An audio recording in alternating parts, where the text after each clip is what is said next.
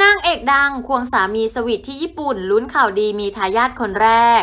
เรียกว่าเป็นนางเอกสาวสวยที่ช่วงหลังมานี้ความรักของเธอนั้นก็หวานไม่เบาเลยค่ะสำหรับสาวจักรจันทร์อคัมเซรีหลังจากเธอแต่งงานและใช้ชีวิตกับเควัฒนาเจริญศักดิ์วัฒนา